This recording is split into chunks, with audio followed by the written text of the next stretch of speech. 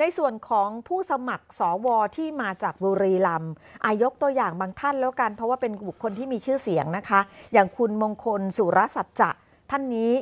อดีตอธิบดีกรมการปกครองค่ะครับและก็เป็นอดีตผู้ว่าราชการจังหวัดบุรีรัมย์ด้วยอืมส่วนคุณอภิชาติงามกมล อันนี้เป็นรองผู้ว่าราชการจังหวัดอำนาจเจริญ แต่ว่าพี่ชายก็คือเป็นพี่ชายของนายไตรภพ ออกขอภัยนายไตรเทพงามกมลสสบุรีรัมย์ของพรรคภูมิใจไทยด้วยอืมอืม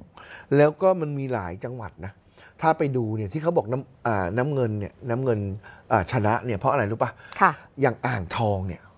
อ่างทองเนี่ยมีสสสองคนนะ แต่ได้สวมาหกนะสวนี่มีมากกว่าจำนวนสสที่คำนวณตามจำนวนประชากรในพื้นที่นั้นถูกต้องครับๆอื้อหือเออแล้วก็หลายจังหวัดนะที่ที่ที่เป็นจังหวัดเล็กเนี่ย แต่ว่าสวเนี่ยจะได้เข้ามาอ่าจำนวนมากค่ะเอออย่างในส่วนของกลุ่มสื่อ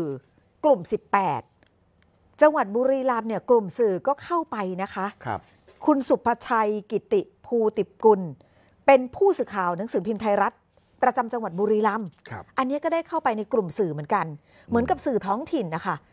ได้เข้าเป็นว่าที่สวกันไปอืมครับ ก็คือสื่อประจำจังหวัดของหนังสือพิมพ์ หรือทีวี จะไม่ใช่เหมือนเป็นพนักงานของอาที่อยู่ส่วนกลางอค่ะย่างนี้ละกันอืมฮะนอกจากนี้เขาไปสำรวจกันเพิ่มเติมด้วยค่ะคุณผู้ชม ว่านอกจากในจังหวัดบุรีรัมย์ที่คร่าวๆแล้วเนี่ยก็ประมาณสัก 14 คนด้วยกันนะคะ ที่ได้เป็นว่าที่สว แล้วก็ยังมีอดีตผู้สมัครนะคะ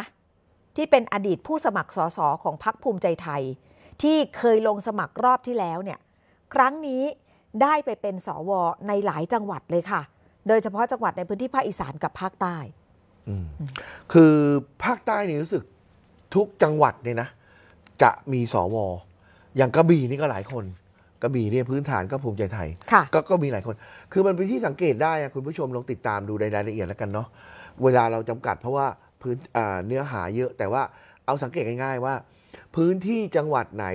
นะที่มีสสของพรรคการเมืองสีนั้น